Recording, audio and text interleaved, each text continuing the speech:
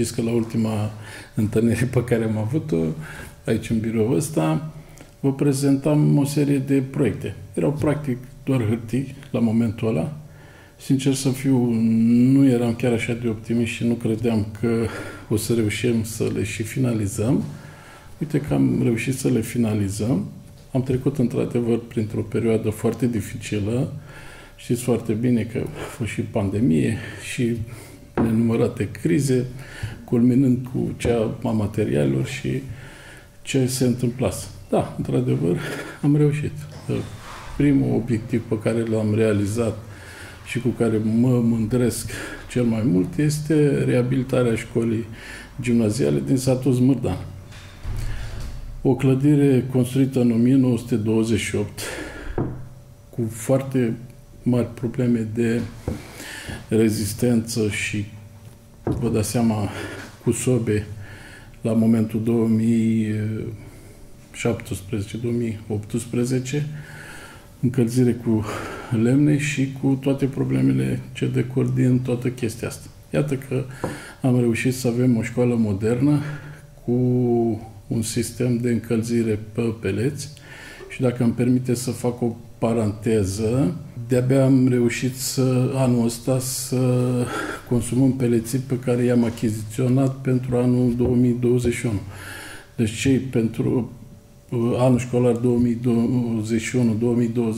încă nici nu am început la ei. Deci avem 12 tone de peleți pe care, uite că am reușit să facem uh, economie. Da, putem spune că avem o școală verde, o școală ultramodernă, cu un sistem de alimentare cu apă modern, cu încălzirea apei menajere printr-un sistem de panouri solare. De asemenea, iluminatul se face prin sisteme fotovoltaice, deci practic factura la curente zero.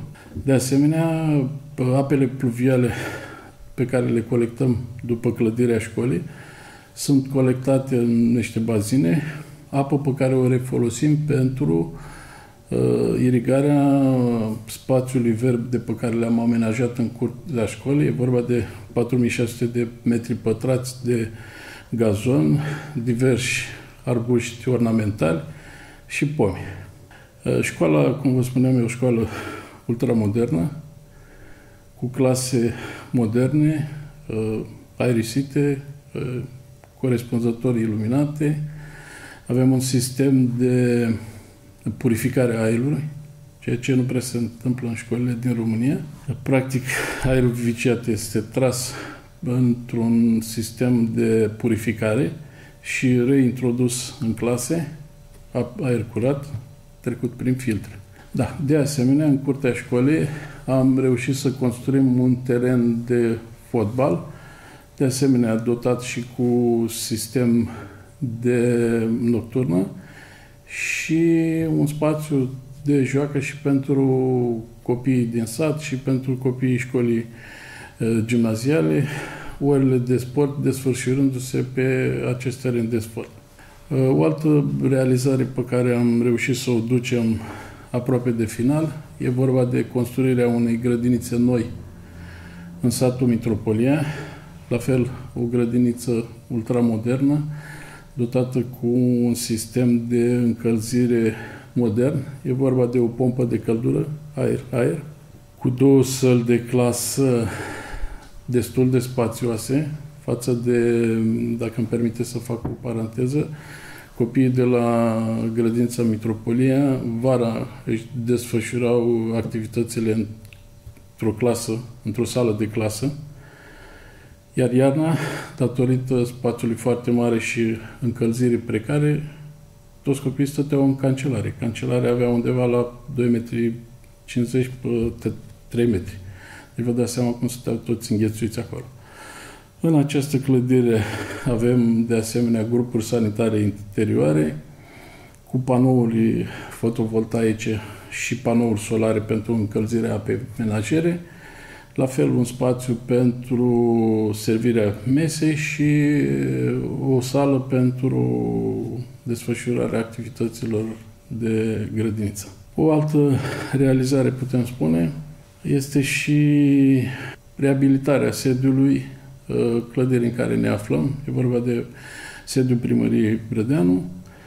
Am reușit reabilitarea termică a acestei clădiri cu montarea unei centrale pe peleți și de asemenea realizarea unei uh, economii la, privind energia. De asemenea, iluminatul se face tot prin uh, panouri fotovoltaice și încălzirea apei menajere prin uh, un sistem de panouri solare. Aș dori să mai punctez tot în, cu această ocazie și reabilitarea drumului comunal DC32 uh, Brădeanu-Smărdan. E vorba de 3,8 km pe care am reușit să-i uh, asfaltăm și pe care putem spune că putem circula în condiții normale. De asemenea, într-un stadiu avansat de lucrări se află și școala gimnazială Brădeanu. Aici, la fel, suntem pe ultima sută de metri privind uh, finalizarea și acestui obiectiv. Ca și proiecte viitoare, aș vrea să reamintesc că proiectele pe care am reușit să le depunem prin programul Angel Salini, E vorba de extinderea sistemului de, de alimentare cu apă și reabilitarea sistemului vechi. De asemenea, extinderea sistemului de canalizare menajeră. Un alt proiect pe care am reușit să-l depunem prin programul Angel Salini este modernizarea drumurilor de interes local. E vorba de cele trei străzi din satul Brădeanu, unde am reușit să punem uh, rețea de apă și rețea de canalizare și într-un proiect viitor uh, modernizarea tuturor drumurilor locale din satul Zmărdan. Uh, de asemenea, am reușit să depunem pe PNRR, programul de redețrare și reziliență, uh, reabilitarea dispensarului uman din satul Brădeanu, un obiectiv foarte important pentru cetățenii acestui sat. Tot prin, uh, administrat, prin programul administrației Fondului de Mediu am depus un proiect pentru modernizarea sistemului de iluminat public și, de asemenea, tot prin administrația Fondului de Mediu avem și reabilitarea și modernizarea grădiniței de la satul Brădeanu. Uh, zilele trecute pot să vă spun că am început uh, lucrările pentru înființarea centrului de zi pentru persoane vârstnice. Aici avem așa un proiect mai de suflet. E vorba de uh, dotarea unui spațiu, înființarea unei cantine sociale și un parteneriat privind îngrijirea persoanelor vârstnice la domiciliu, persoane care sunt în situații deosebite.